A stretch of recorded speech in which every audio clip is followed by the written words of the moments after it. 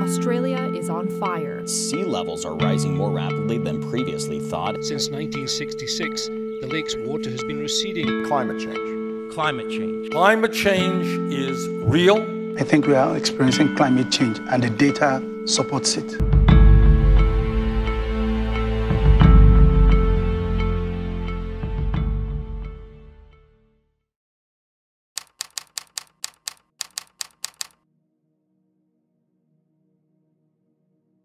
Climate change.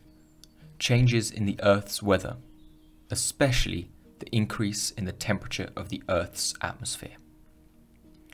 In the past two years, this term has been heavily used in the media and has been debated by political leaders. When we usually think of it, we think of ice melting, forests burning, and water levels rising. A lot of us don't really experience these effects firsthand. But what do all these things really mean for us, mankind? Let's try to answer this question by taking a look at the Lake Chad Basin, a region in Western Africa that stands at the forefront of the fight against climate change. Over the past 50 years, Lake Chad, a source of food and water for tens of millions of people, has lost over 90% of its volume due to climate change. In that same time frame, the local population tripled, making the lake an unsustainable food source the food production became scarce for this now 30 million inhabit region.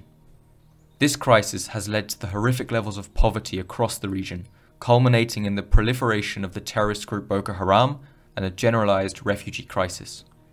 So, let's go back to that initial question. What does this mean for us?